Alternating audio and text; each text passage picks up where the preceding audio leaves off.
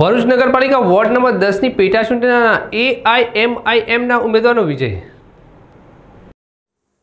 ભરૂચ પાલિકાના ward number દસની તારીખ ત્રણના રોજ યોજાયેલ નગરપાલિકા ભરૂચની વોર્ડ નંબર દસની પેટા ચૂંટણીનું પરિણામ જાહેર થયું હતું, જેમાં વોર્ડ નંબર દસમાં એઆઈએમઆઈએમના મહિલા ઉમેદવારની જીત થઈ હતી. ચૂંટણી દરમિયાન ચાલીસ ટકા જેટલું મતદાન થયું હતું, જેમાં ભારતીય જનતા પાર્ટીના ઉમેદવાર ફાતમાબેન ફજલ પટેલને ચૌદસો વોટ મળ્યા હતા.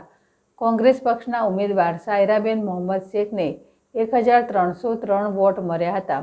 આમ આદમી પાર્ટીના ઉમેદવાર ફરીદાબાનુ જફર શેખને એકસો એંસી વોટ મળ્યા હતા અને તે દરેકને પરાજિત કરી ઓલ ઇન્ડિયા મજલિસ એ ઇતેહાદુલ મુસ્લિમના એઆઈએમઆઈએમના ઉમેદવાર સદિકા બીબી શેખને લોકોએ બે હજાર આઠસો નવ વોટ આપીને જીત મેળવી હતી.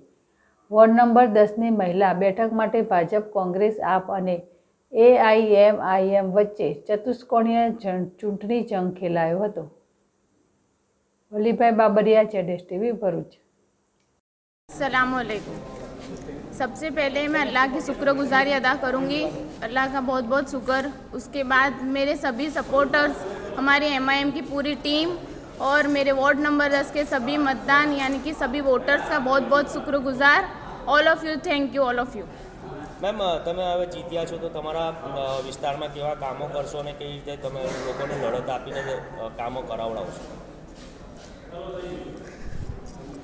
એ તમામ કામો કરીશ.